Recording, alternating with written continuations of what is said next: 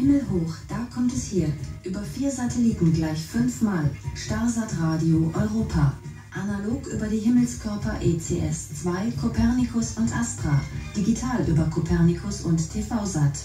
Sie hören Starsat außerdem in fast 90% aller Kabelnetze in Deutschland, dazu in bestimmten Stunden auch per Äther in verschiedenen Teilen Bayerns in Südtirol bis zum Gardasee, in Slowenien und über weitere Radiostationen sowie Kabelnetze in Skandinavien, Italien, Spanien, den Niederlanden und Frankreich.